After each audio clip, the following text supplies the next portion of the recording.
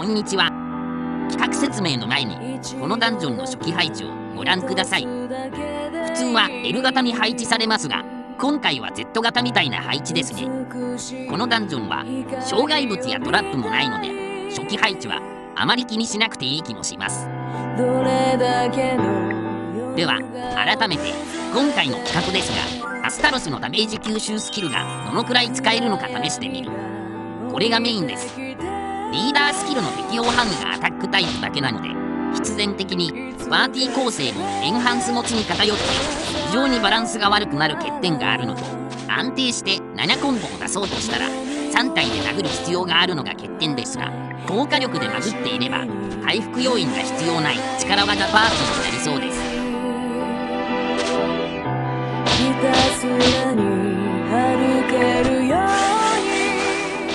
約413のダリューンで9コンボした時の回復量が約1500ザラシュトラは攻撃力が361あるけど属性補正で700程度の回復でした。敵1匹をモンスター3体で集中攻撃し続ければなんとかなりそうな感じですかね。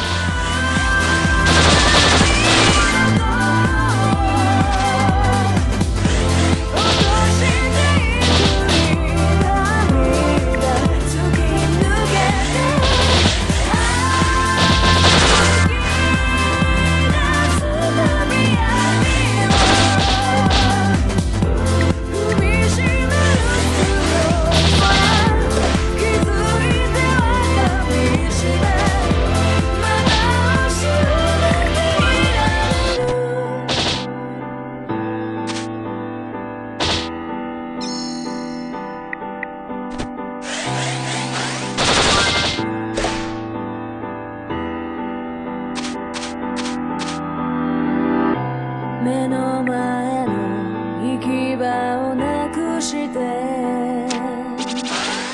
エンハンスを使えば回復量も増大。エンハンス持ちが多いパーティーなので危なくなったら雑魚的にも使っていけばいいんじゃないかな。鮮やかに描ける景色が。薄れない確かなもの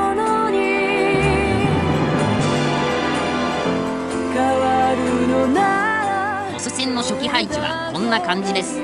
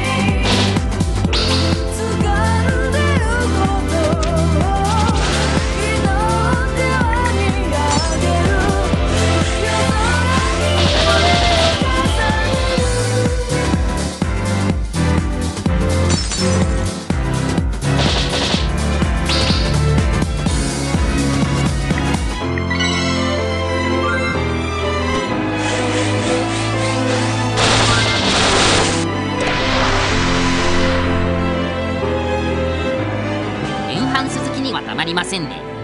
それではまた。